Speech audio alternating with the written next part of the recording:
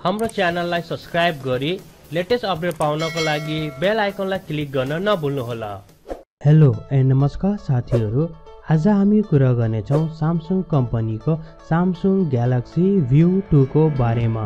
हुन त साथीहरू यो चाहिँ एउटा चाहिँ ट्याब्लेट हो तर पनि यो चाहिँ पोर्टेबल टिभीभन्दा कम छैन।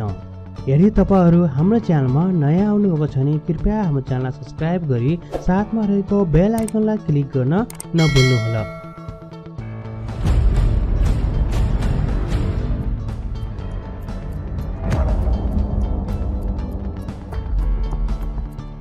साथीहरू सामसुङ कम्पनीले आफ्नो सामसुङ ग्यालेक्सी भ्यू टूलाई चाहिँ अलरेडी नै लन्च गरिसकेको छ। तपाईँहरूले सजिलो तरिकाले अहिले चाहिँ प्रि अर्डर गर्न सक्नुहुनेछ।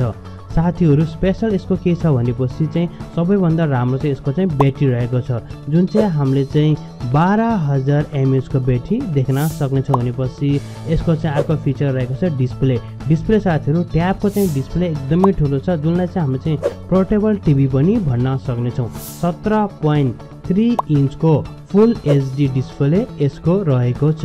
भ्यू टूको यदि हामीले क्यामेरा डिपार्टमेन्टको कुरा गर्ने हो भने यसमा चाहिँ हामीले एउटा मात्र क्यामेरा देख्न सक्नेछौँ जुन चाहिँ फोन फेस क्यामेरा रहेको छ फाइभ मेगा पिक्सलको र यो क्यामेराबाट हामीले सजिलो तरिकाले अल्ट्रा एचडी भिडियोहरूलाई चाहिँ थर्टी एफपिएसमा चाहिँ रेकर्ड गर्न सक्नेछौँ र साथीहरू कम्पनीको भनाइअनुसार यसको ब्याट्री चाहिँ एकदमै राम्रो छ जुन चाहिँ बाह्र हजार एमएचको चाहिँ यसको ब्याट्री रहेको छ भनेपछि यदि हामीले चाहिँ यो ट्याबलाई चाहिँ स्ट्यान्ड बाई राख्यो भनेपछि पैँतालिस घन्टासम्म चाहिँ यो चाहिँ स्ट्यान्ड बाई रहनेछ। यसै गरी यदि हामीले चाहिँ यसमा चाहिँ अडियो प्लेब्याकको कुरा गर्ने हो भने यदि तपाईँले कुनै पनि चाहिँ एमपी थ्री सङहरू या तपाईँले चाहिँ गीतहरूलाई प्ले गर्नुभयो भने थ्रोडा स्पिकरबाट चाहिँ प्ले गर्नुभयो भने एक सय एकसाठी घन्टासम्म चाहिँ चल्ने। र यदि तपाईँहरूले हेडसेट युज गरेर चाहिँ कुनै पनि गानाहरूलाई चाहिँ प्ले गर्नुभयो भनेपछि दुई सय चौबिस घन्टासम्म चल्ने चाहिँ कम्पनीको भनाइ छ।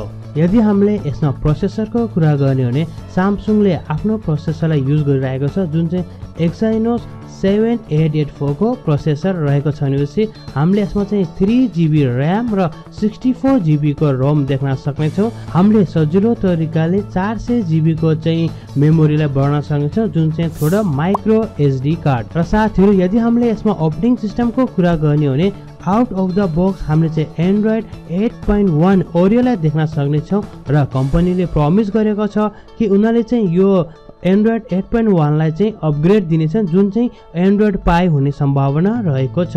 र साथीहरू ग्यालेक्सी भ्यू टूमाको चाहिँ यदि हामीले चाहिँ वायरलेस टेक्नोलोजीको कुरा गर्ने हो तपाईँले यसमा वाइफाई देख्न सक्नुहुनेछ फोर जी यसमा सपोर्ट गर्नेछ त्यसै गरी यसमा चाहिँ मोबाइल हटस्पटले पनि सपोर्ट गर्छ जसबाट तपाईँले सजिलो तरिकाले दसवटा डिभाइसहरूलाई कनेक्ट गर्न सक्नुहुनेछ। तपाईँले यसमा चाहिँ एउटा मात्र सिम युज गर्न सक्नुहुन्छ जुन चाहिँ नानो सिम रहेको छ।